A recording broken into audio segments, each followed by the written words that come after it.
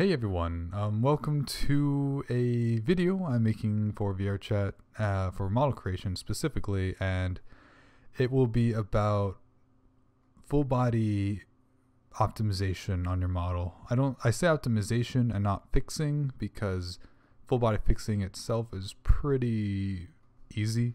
You just check that box and bam, you're done. Uh, but we won't be using that actually in this tutorial. Uh, because we're not only fixing your avatar for full for full body, but we're actually optimizing it, which means that you won't have to have your feet here or change your height so then your arms end up being too long so your feet can be here. Stuff like that. And it won't be perfect all the time. Sometimes you can get it perfect, sometimes you don't want it perfect, and I'll explain that later. Uh, but this tutorial will definitely help and this will also fix issues such as or at least partially such as when you lay down uh, your head going to your body here or just weird issues that full body gives you especially with MMD style avatars. Uh, so anyways um, I picked up just a basic avatar you can get um, like whatever. Uh, is pretty common one so I thought I'd start with it because most people won't be making them from scratch or at least like putting them together from parts, which is what I mostly do right now and some custom stuff. Uh, so I thought I'd just get this base because that's not what it's about. It's about full body fixing and it's about the bones of it itself. So, so you have a, have an avatar here. You're like, okay, I did everything I want or whatever. Um, fixing it does not matter. We do not need the full body tracking fix. So you can basically have your avatar done or if you say you want to go back and fix your avatar for full body you can also do that. You can also do this with an fbx which you can't go back for like an fbx you previously exported and hit full body tracking fix and apply and do it. Like it doesn't always work very well. But this process i'm showing you does work even with previously exported fbx files. Uh, so first thing you want to do is I can you can hit F5 and hold on a second Okay, there we go. Got so you guys can see what I'm doing. Got the uh, screencast thing here. All right, so you can hit five to go into like right here we're in perspective. Hit five again. Go to orthographic. Hit one. Uh, see what doing from the front well. And the first thing you're going to do to um, to actually do the full body fix yourself is actually go up, select the armature here, select the two tops of the leg bones. Control, I sorry, Shift E middle mouse up. You can do like 0.04. It doesn't really matter the length, but basically you're, you're selecting both of these, extruding straight up on the um, what is it, the z-axis, uh, and making these two bones that stick straight up. And what you're going to do is select each of the actual leg bones here, and change the parent from hips to uh, the bones you just created, and these will most likely be named left leg 001. If you want to check the name, right click the bone, says right here on your little side menu. You can get to by hitting N. Uh, do the same thing your, for your right leg. Right leg 001. And what this did was it parented the actual leg bone to these new ones you created. So if you go to pose mode and click pose position so you can move the bones, you can see if I click this one, if I rotate that smaller bone I made on top, it now rotates the actual leg itself here, which is what you want. So uh, we've already we're already halfway done with the full body fix. The only th other thing we need to do is go back to edit mode, go to your uh, hip bone here, scale negative one, and hit enter. So what this did is it just flipped around the hip bone for whatever reason. Full body does not like when you have a normal hip bone. So yeah. Uh, now I would recommend doing is uh, going here and selecting the um, the Y value, which is the forward back value here, and uh, pasting that onto the hip for the top and bottom of it is what I found is actually the most useful. So um, basically want to make sure the the hip is perfectly aligned with those two small bones up and down. So they so if you go to your side view, they line up perfectly. It's hard to see here, but you see they line up perfectly up and down.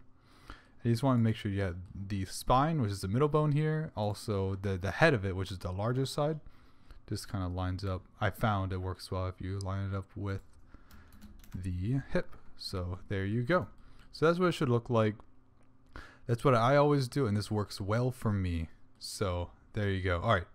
Now, that was the first part. So now that is the full body fake. So you go into full body right now after you export this, and it will work well. Just make sure you parent the leg bones in Unity to the, your new ones you made here and not the actual leg bones here. You want to make sure it's on these, uh, assigned to use these in Unity. Uh, and that will give you your full body. However, this does not fix the issues we are having, which is uh, the legs and the arms maybe not being too long or short or whatever. So usually the legs are always long. You can tell here, legs are really freaking long. So what you can do is uh, you can scale the leg here. So if it hits S for scale and then um, was it Z, I can actually scale up on the axis and I can shrink it down to whatever I want. So like say like it would be like there maybe. So you can see here that when I go under, uh, the leg itself looks okay. Um, Chill SL helps with shading. You can see that it doesn't look like it's scrunched up or anything here. It looks looks good enough. Uh, sorry, uh, censoring here right now. uh, but yeah, so that, so that's fine. And this actually avatar worked out well. Some of the weight painting is not good. So I'll show you how to um, if I get the uh, this back here and I scale this back down to its original one. There's another way you can do it that also helps with uh, that little scrunching issue up here on the weight paint because when you scale it it uses the weight paint values. And if they're not like really nice up here you'll get that weird scrunching effect. Uh, so another way you can do it if you do get that scrunching effect which I do get a lot of times is you select the mesh here. Make sure you have it all selected or you can select it all. Select around the boots area here. And go to your um, proportional editing which is right down here this little circle. Click on connected. Uh, or actually no no no. You, you can do projected. Um, projected will go through the entire mesh even if like they're not connected. So say if this do this piece anything in that circle is still going to move. Well if I do connected only the pieces around that are connected to the actual vertices will move. So you see here like oh the, the, the heel wasn't connected to the shoe so it's not going to move. Uh, you can fix that issue by removing doubles, uh, but in this case we don't need to worry about it. So we're just going to go to projected. And we're going to go up right about to where like the top of the leg is. And you can I would normally hide the vertices or just select like the leg mesh but it's not a huge issue right now basically what we're going to do is use proportional editing and we are going to actually manually do something like this. You want to, I, I don't usually have a scale I go off of for the full body. I, um, like how it looks. I just kind of do it myself. See, okay, like that looks fine, but one thing, like you look all chubby now. And we're going to deal with that in a minute here. So say like, all right, I want to, I want to keep it there. Uh, that looks that looks uh, uh, actually a little short. We're gonna bring that we're gonna bring that down right there. Say that say like that looks good. Uh, oh crap, I'm chubby now. What am I gonna do? Uh, well, first we're going to uh, fix the positioning of the bones now. Since you drag the leg mesh up, so we can select the uh, the leg bones here, both of them. Just move those up to where they should be, right about here. And same thing for the bottom, right about here. And uh, there you go. So now the issue is again the legs, chubby. We don't we don't want that. Uh, also the knees here are kind of discombobulated.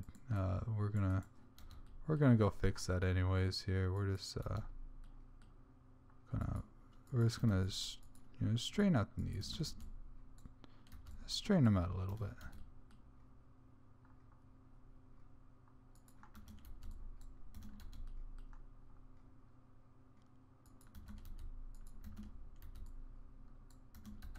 There we go. Something like that. Just make the knees look a little less jagged. Uh, and actually, to be honest, the legs don't look terrible. uh, on this one specifically. We also didn't do the uh, the scaling, which I think may make it worse instead of just dragging it up.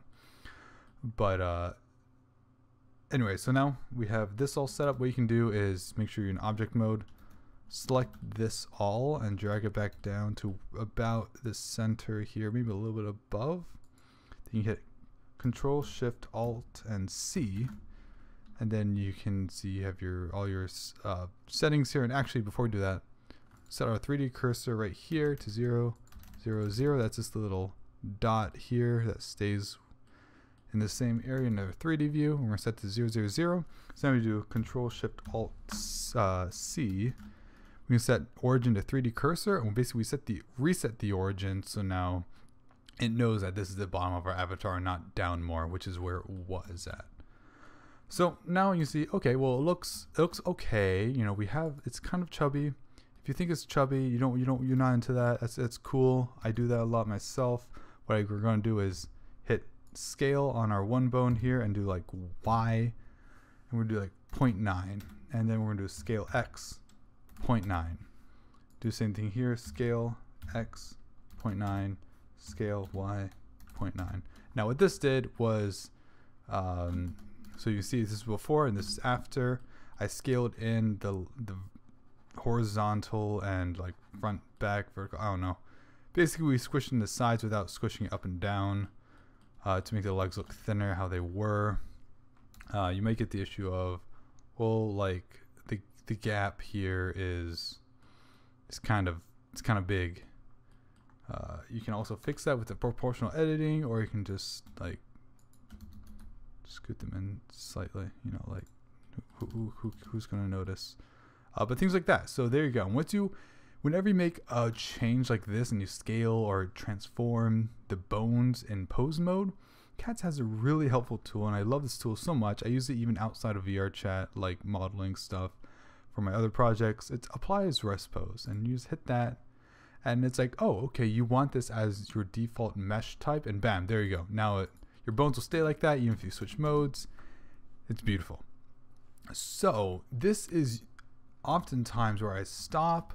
But something recently I've found out that's good to check is your arms. So if you go back to pose mode, pose position on the side here, drag your arm down and see where it's at. It should be about halfway down your thigh here. This avatar looks good, um, which is where it should be, like right around there. The same thing with this one over here. Bam, look at that. The arms are good to go. That looks good to me.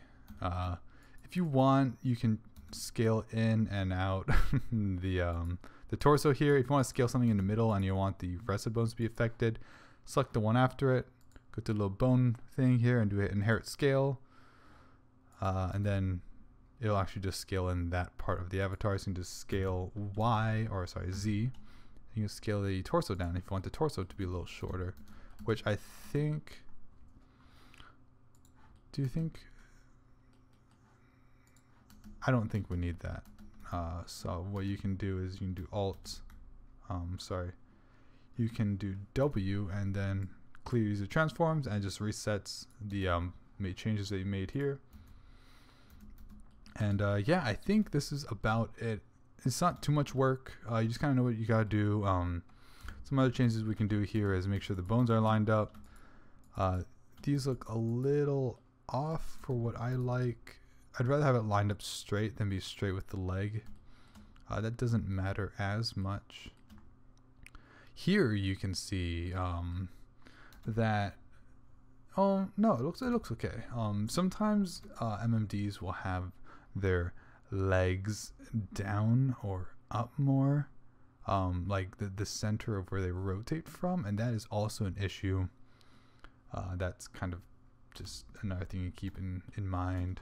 Uh, I like to just straighten out these here and pull these in to about where the neck stops right here you can see there we go uh, and that's pretty much it if you're having issues with with rotations or like the bones um, not like rotating like the IK not working properly it might be because of the uh, angles on your bones so what you can do is it's like say your arm's not like bending the same way it should all the time uh, grab the joint and just drag it back to make sure you have like a defined curve or like angle there. That basically lets the IK uh, for VR chat know that okay, you do want the leg to move in or the arm to move that that way, you know, not the other way around. But I think that is it for the Blender portion.